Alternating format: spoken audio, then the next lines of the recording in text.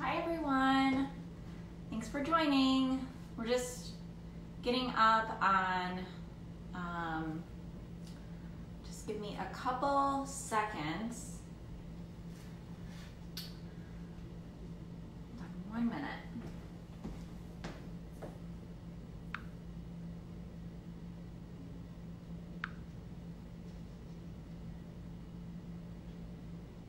See who is joining. Where's everyone joining from?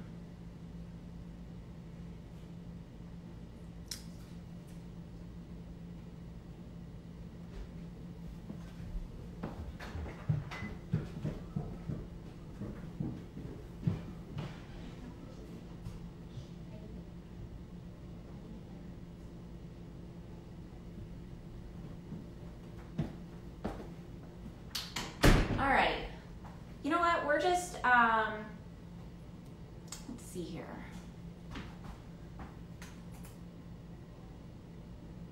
Sorry everyone. Hope everyone had a good Memorial Day weekend.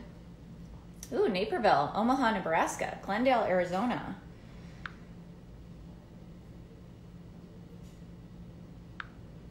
Just trying to get this live going.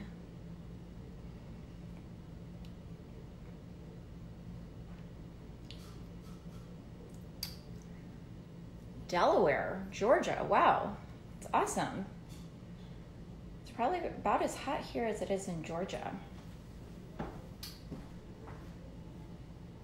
All right, so we're just gonna get started because I'm having a little bit of technical difficulties. But hi everyone, uh, welcome to Cooking Together. Uh, this is a live series that is meant to help you through these strange times that we're all going through and we're hoping to equip you with the skills and the techniques and the tools so that you can conquer your kitchen during this time at home. Uh, my name is Sarah Young and I am part of the Kraft Heinz culinary team. I'm really excited to be here today to tell you um, about how I sort of plan for weeknight meals. So we're going to talk about the 10 pantry staples that you need to keep in your kitchen in order to conquer weeknight dinner. Um, so even though I'm a mom of two and I do two pickups and drop-offs each day um, when my kids are in school or summer camp or something like that, and though even though we're all home right now and I'm not rushing in the door from a long day at work with two kids in, in the back seat, I'm still um, I'm still facing the question around 4:30 every single day, which is what's for dinner or when's dinner going to be ready. So I'm still feeling that crunch even though I'm not working. So I wanted to share with you this. This may seem really basic um, and kind of old school, but honestly, I just I usually write down dinners on a random piece of paper. This is a piece of construction paper because I just usually grab a scrap. Um, I know that I could do this on my phone, but for some reason I remember it more when I when I write it. So even if I forget my list or something, if I've written it down, um, I usually remember it when I go to the grocery store. So what I like to do is kind of just list the dinners that I think my family would like that week, maybe something that we haven't had in a while. A lot of times I go to my pantry and I sort of dig around and see if there's any um, half bags of pasta or rice or anything like that that I need to use up, and that sort of jogs my memory um, to think of the meals that I haven't made. And then what I usually do is just make a list of those dinners, and then I'll take a look at my week. So a lot of times I will, so so to speak, assign um, different dinners to a different day based on what I have going on. If I know that I have a meeting later in the day that's going to push everything back 30 minutes, that cuts into my cooking time. And it's probably going to be a night when I pull something out of the freezer or just get something very, very fast, like, you know, um, pasta, jar of sauce, and um, some veggies or something, or a bag of salad. Okay, so this is kind of where I start, and I would highly recommend um, that you do this because it really will um, it will help you and it, it's not a hard and fast rule that you have to make these things on these days. I mean, I switch things around based on um, how the week is going, and sometimes I'll. Um, you know, it's just it's a nice reminder as to what I have in the house that I can make. So um, if plans change, I can change um, the the week.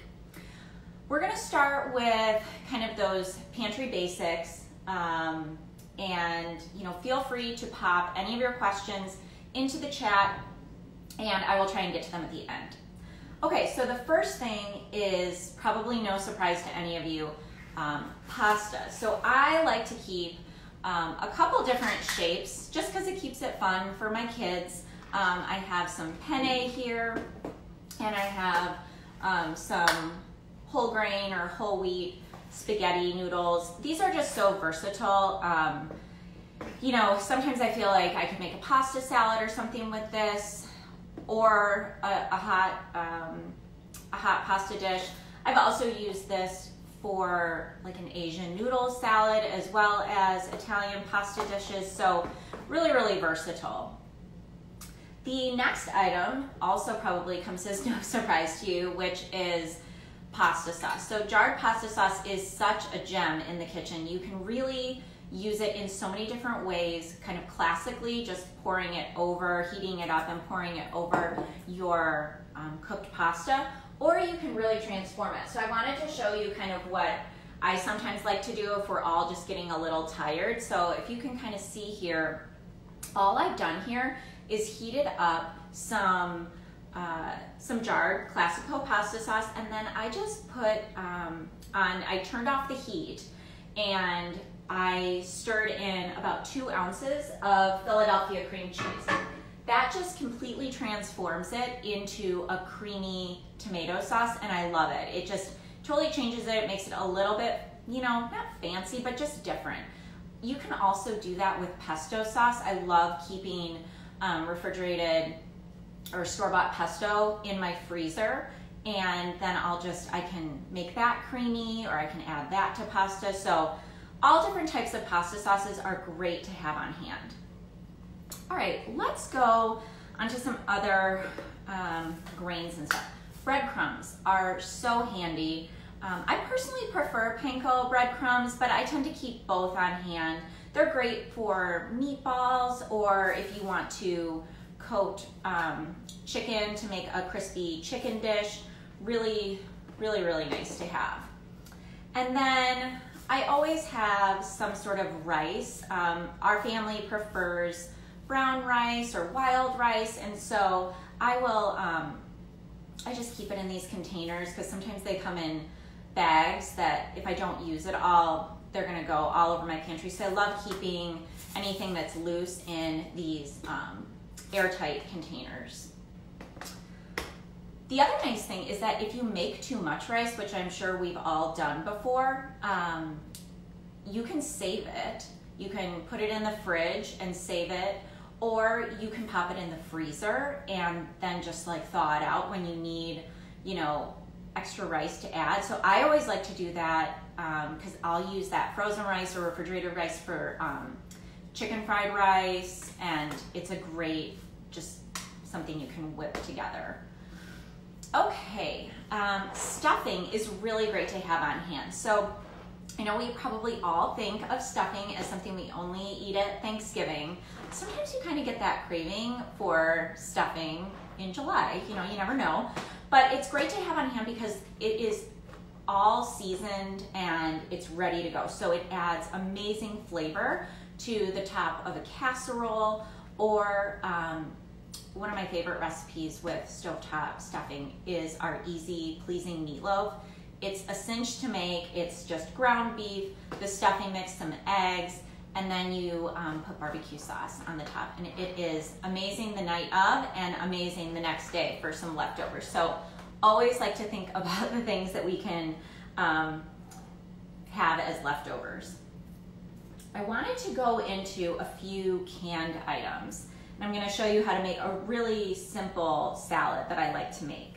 Um, so I like to keep a variety of different beans and um, canned vegetables. I definitely have my preferences on canned vegetables as well as um, some frozen vegetables. So there's certain frozen vegetables that I think are just must, you know, haves in your fridge.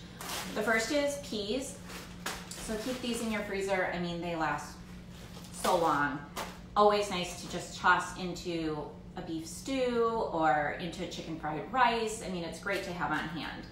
Um, I also always have frozen spinach. And the reason is because to get as much frozen spinach with fresh, I mean, my entire fridge would be filled with, um, with spinach because it wilts down so much that it's just, it's great to have frozen. The beans that I like to keep are cannellini beans. Um, these are great to have because they're great in soups. Um, black beans, which I'm going to show you, um, are great in salads. They are a little bit firmer, so um, they hold their shape really nicely in salads. Garbanzo beans are also quite good for, um, for salads. And I, I like to have canned or frozen corn. And the reason is because, you know, sweet corn is um, a very narrow window, but you can guarantee that the canned corn and the frozen corn are always going to be quite sweet. So I wanted to show you a, just a quick salad that I like to make that really is just opening up a few cans, chopping a few vegetables, um, and it's it's really, really simple. So I like to make this on taco night just because it's fresh and easy. Um, I have a uh, 15 ounce can of black beans that I drained. And then I just have a small can here of corn niblets. And I'm just gonna drain out any water that is in there. There's usually not too much, um, but I'm just gonna add those in. This is just a really nice salad. I mean, honestly, you can pretty much toss in anything that you want. Today I'm going to use black beans, tomatoes, corn. I just have some um, grape tomatoes here that I started slicing up. So I'd say I have, you know, a, uh, one pint container. Um, and I'm just having them through the center just so that they're easier to eat. I find that sometimes um, some of these grape tomatoes are quite large. I don't know. Recently I have noticed that they are much bigger than um, I remember them being. Blackberries too, actually, have gotten so big. Um, all right, so I just have some halved um, grape tomatoes, and then I have a red onion. So what I did is I cut it through the root end, and then I peeled off the outer um, skin, the paper, and I'm just going to um, dice this. I don't like super huge um, pieces of the onion, so what I'm doing is I'm just um, making some cuts here uh, vertically and then horizontally, and then I will go back down, and we have a nice, perfectly chopped red onion. So we're just gonna put, eh, it's probably, that was a pretty big onion, so just about a quarter. And then I have a um, an orange pepper. I just like to cut it right down the center. This is just, this is how I do it. And then I grab it, sort of peel it out. Um, I don't know, I don't get too fussy about if there's a little membrane or anything left. But I do like to cut it um, with uh, the skin side down, just because I feel like I can get a better grip if you all tuned in um, to my um, essentials last week, you'll see I'm using my favorite knife um, because it's so easy. All right, so I'm just um, cutting these into eh, just like a small dice. Pop that in. You can see I love all the colors. I have half of an avocado here. It's still a little, you know, just popped it out. I like to, if it, when it's not super, or it's, you know, still getting to the super ripe stage, I'll pop it out of the half and then just dice it on my board. um, so that it doesn't slip. All right, and then all I'm gonna do kind of takes me into some of my next uh, things that I like to keep on hand. I have a little bit of lime juice here, just a couple tablespoons, and I am going to jazz up this uh, Kraft Zesty Italian dressing. So I always have Italian dressing on hand because it's just a nice basic dressing. Um, it's great for obviously pasta salads or green salads. I'm just gonna add about a quarter cup of dressing. Shake it up though because a lot of the seasonings and stuff can settle to the bottom. So I'm just gonna mix it with the lime juice. Is a really easy thing to do. You could absolutely add some cilantro to this if you wanted, um, but I'm just gonna toss this all over toss this together, and this is a great fresh side for pretty much any night of the week. A great um, side for any kind of grilled grilled meats or Taco Tuesday, right? Tonight. Hope you guys give this a try. Um, so I mentioned the salad dressing, great to have on hand. Um, if you tuned in a couple weeks ago, we actually seared um, our meat in this dressing. Uh, you can also use this as a marinade. So, you know, something you can do before you leave the house, just pop your chicken in a plastic bag, pop some of this in the bag, let it marinate all day, and it'll be ready to go. Um, the other thing that I like to keep on hand is some light soy sauce. I feel like soy sauce is just, it's so savory. It has a great, you know, umami, and it really brings things to life. So I will absolutely, you know, use this whenever I'm making any Asian um, dishes, um, like, you know, fried rice or um, dressings and things like that. You can actually add a little soy sauce to Italian dressing, makes a really nice, um, really nice sauce.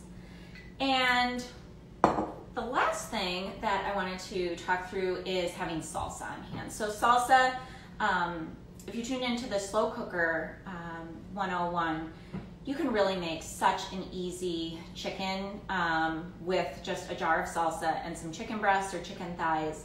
Just pop it in your slow cooker, let it cook, and you have great shredded, flavorful chicken for lots of different meals all week long. Um, salsas have such great flavors these days. Um, this one is just kind of a traditional tomato, Taco Bell salsa, salsa, but comes in mild or medium. You can always jazz it up if you want to. The other thing that I sometimes like to do is I mix a little bit of salsa with ranch dressing, and that just elevates um, a taco salad um, as a nice drizzle. It's a great sauce um, for your tacos, so keep that one in mind. I think that those are all the tips that I have um, today. So let me see if we have any questions. Let's see here. Um, I see a question about how long jarred sauce will last. So sometimes, you know, I don't use the entire jar of sauce and you can keep it in the refrigerator for like five to seven days um, once you've opened it. Um, but just keep an eye on it because, um, you know, there's uh, not a ton of preservatives and things like that in tomato sauce, so um, it's not indefinite. Let's see. Um, so how long can you store any cooked rice? So like I said, if you um, if you make too much rice, don't throw it away. You can use it in so many different things. Sometimes I even mix it into ground turkey um, and I'll make what I just, I like to call them burrito burgers. Um, so I kind of mix all the things that would be in a burrito into a, a burger patty. So just keep it in the freezer or in the refrigerator, um, easily in the fridge for like five, five days. I would say in the freezer for probably several weeks. Um, the containers uh, were purchased on Amazon, but you can absolutely find them at any sort of um, home good type store where um, kitchen equipment and, and things like that are sold. let's see. How do you keep your pantry organized? So I have to say, I'm not always the most organized. Um, you know, I try. Um, and I try and keep it organized as much as I can. But for the most part, I follow the same rules. So usually I organize by pasta and rice, um, any kind of grains.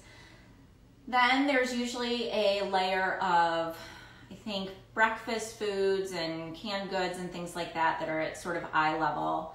Um, then I have sort of snacks, and then on the bottom I have what I call just my ingredients, um, things that are flour, sugar, you know, um, brown sugar, just loose ingredients that actually need to be, you know, baked together. So that's that's how I do mine. And then looks like there's a question about spices. So we didn't cover spices, and you know that's a good, um, that's a great question. So things that I tend to use a lot, um, absolutely kosher salt and black pepper. I think it's always nice to have something that you can add a little heat if you prefer heat. So crushed red pepper flakes. Um, I also really like keeping um, uh, chili powder and cumin on hand. Um, just because I think that they're really versatile um, and they, uh, you know, they can jazz up a salad really, really nicely. Also, if you run out of taco seasoning, you can kind of whip together um, an easy taco seasoning with um, just some chili powder, uh, cumin, and um, if you have some paprika, um, and then if you want to spice it up, you can you can add a little red pepper flakes to it. So you know, that's kind of in a pinch. If you run out, it's really easy with, with those things. So those are some of my favorites. I also keep like, probably my favorite sweeter spice is cinnamon, um, just because I feel like I can use it um, breakfast, um, on smoothies, or in baked goods and, and things like that. Okay. I don't think that we have any more questions. I want to thank you all for tuning in after this holiday weekend. Um, please let us know if you have any additional questions. And until then, let's all keep cooking together. Thanks so much. Bye.